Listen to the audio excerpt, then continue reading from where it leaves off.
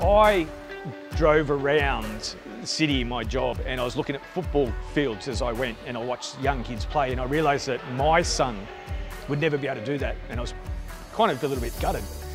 Um, and then one day a friend of ours introduced us to this sport and said, hey, come down, have a look, see what you think. And at the age of three, my son latched onto it, just like my entire family did, because it's more than just a sport for him.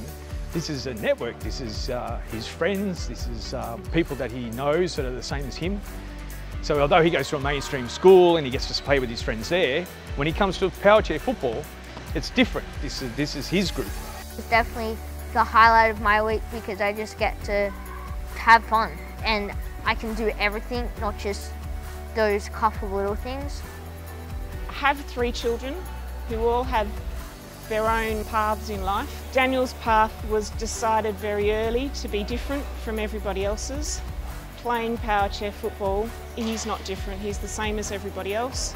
The smell of the burning rubber out there, it just flicks me into that mood. It's just adrenaline and it's basically become a second nature to me. Like, yeah, it, it just feels awesome. It's really exciting because you get you're going super fast and you're hitting the ball and just the sensation of doing that's really fun. It's the highlight of my week.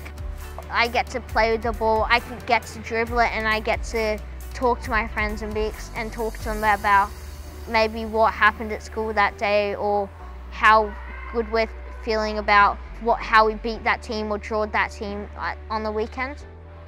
Powerchair provides a community that you can't get outside of the hospital system. My son's limited in what opportunities he's got for sport. He's always been interested in, in soccer. This gives him the opportunity to play in a team environment and to make new friends. Powerchair football for Daniel was a lifeblood.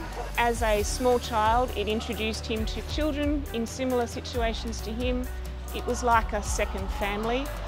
I wouldn't have known any of these guys before I came, and now it's, it's like a community. It gives young kids like Joshua um, something to aspire to.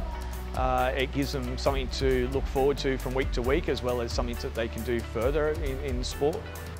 On the court, they're all the same. They're in the same chair, they have the same speed. You know, it, it just puts him on that even playing field. He loves the sports, um, he loves being part of a team. He's very competitive by nature.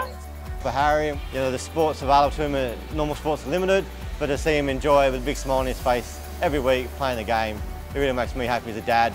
It's giving them that outlet. It gets them going for the day. It, it gives them something to focus on and a reason to go and become part of their community. It's given me the chance to play a sport that I thought I'd never be able to play. It means absolutely the world to me to play power chair football.